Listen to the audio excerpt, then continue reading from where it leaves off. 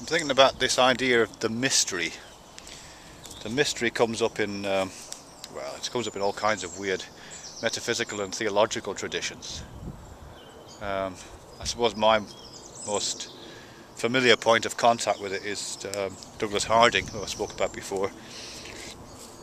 You know, he used it in a pretty idiosyncratic way actually, but it, it's, um, yeah, I'll try and come back to that if I can.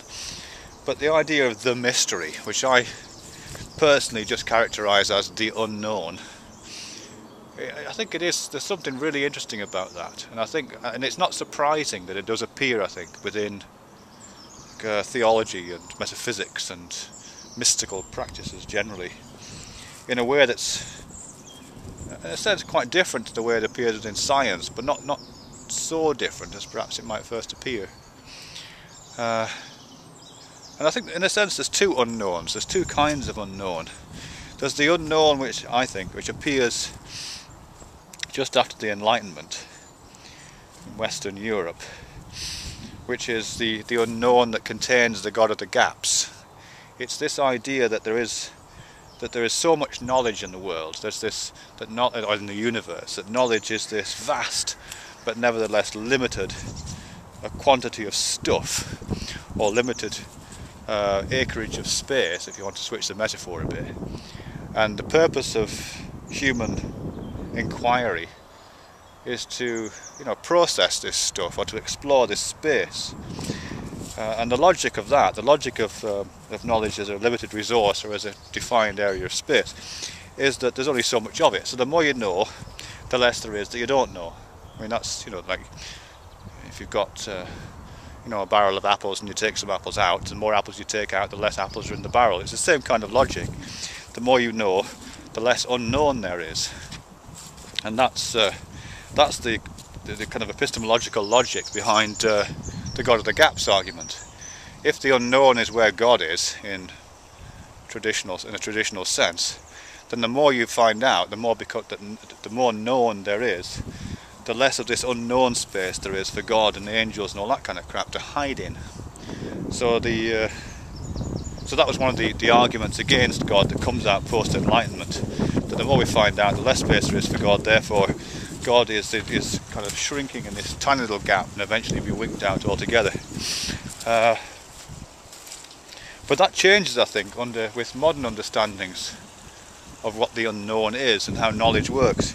Because modern understandings of knowledge don't configure it as a limited resource or as a, a finite bounded area of, of uh, metaphorical space that we're exploring in a, a, modern understanding of knowledge is that it's it's not created as such, but it is, but it, it isn't it isn't finite. And the more you know, or the more we know collectively, the more um, opportunity we create to find more out, to create to, to create and uh, and generate new knowledge. And the image I have of this, just to put against this apples in barrels and exploring of finite spaces, the image I have of this uh, is something like the Koch snowflake. The Koch snowflake is a, is a fractal figure, quite well known one. It's very simple. You just you can draw one. You just draw a triangle on a piece of paper. Oh, the wind's picking up. You draw a triangle on a piece of paper. Then on each of the lines of the triangle, you draw another triangle half the size of the original, and then you do the same thing with each of those three triangles you draw, and then so on and so on and so on. And you can do that uh, to infinity effectively uh, and it becomes a, it's a fractal figure.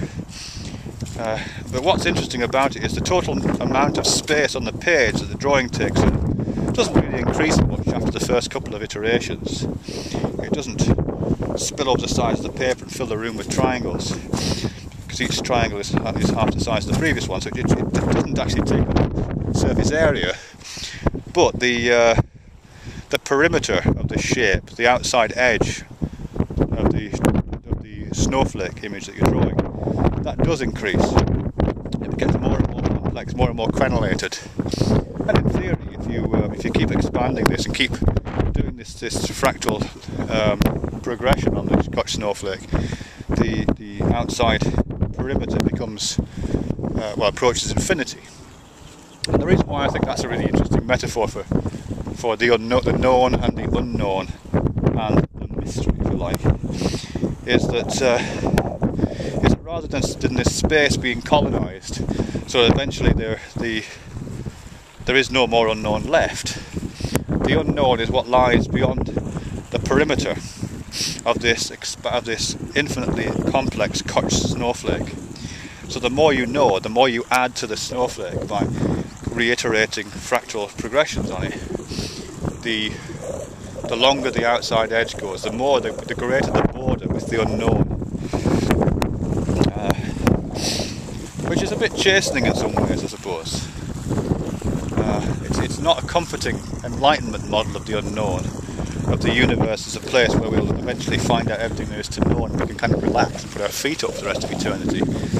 It's more uh, a knowledge that the universe is going to endlessly present more stuff to us to know because of our and that's and the moreness is generated by our acts of finding things out. So the mystery, if you like, which is often capitalized in mystic writings, I think is something more akin to that than the God of the Gaps mystery. It's more of akin to a, of a, an unknownness that increases in size and potential and kind of pregnant weirdness the more that you know about it. I mean, I'm not saying that's an excuse to fetishize it. I mean, a lot of mystic writings, I think, fetishize the mystery, make it a capital, put a face on it, you know what I mean? And, uh, and turn it into an object of worship and reverence. And I'm not saying that. But I do say, I am saying, I suppose, that uh, an, un, an unknownness that is constantly expanding does trigger a different kind of relationship, or is worthy of a different kind of relationship to the um, knowledge as a barrel of diminishing apples model.